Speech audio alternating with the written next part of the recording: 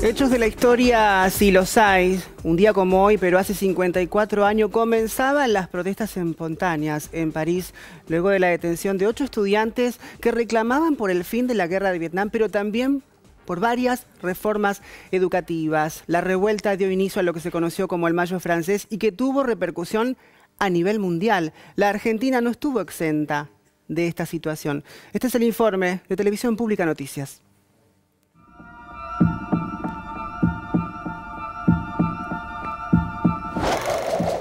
El Mayo francés simboliza un momento de eh, apuesta por la imaginación, por la transformación, por la libertad.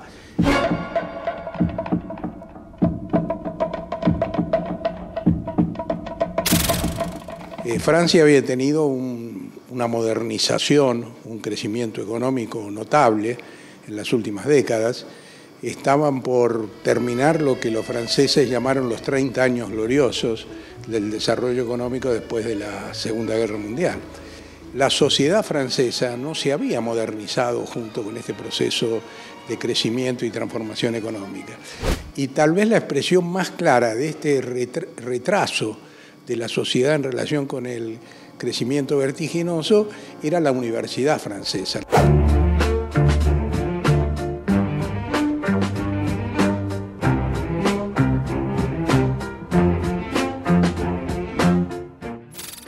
Además es un eh, país que ha sido muy impactado por el feminismo. Eh, una de las reivindicaciones que planteaban los estudiantes de Nanterre era poder tener este, vínculos con las estudiantes que se alojaban en otra parte del edificio.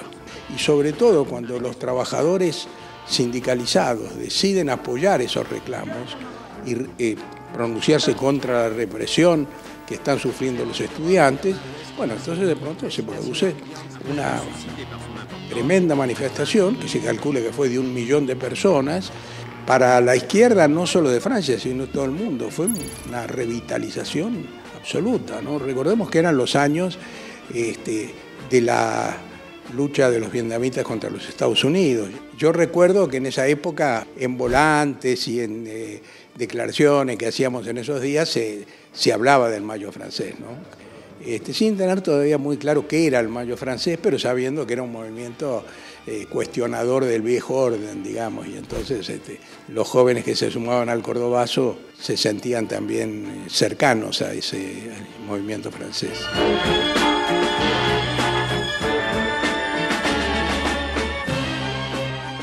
Y el mundo hoy, bajo la influencia creciente del neoliberalismo, eh, bueno, hace años era mucho más ese mayo francés, porque es un mundo donde hay poco interés por la política, donde se exalta un individualismo sin ningún compromiso social.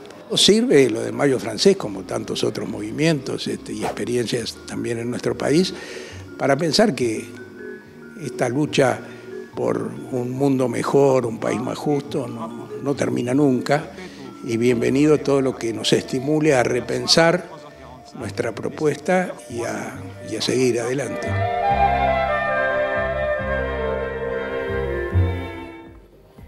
...54 años de la influencia del mayo francés en la República Argentina... ...pero en el testimonio podemos escuchar cómo esto significó a nivel global... ¿no? esta interpelación al nuevo orden, como escuchábamos en un momento. Claro que esto forma parte bisagra para la historia, no solamente de Francia, sino también para el resto del mundo.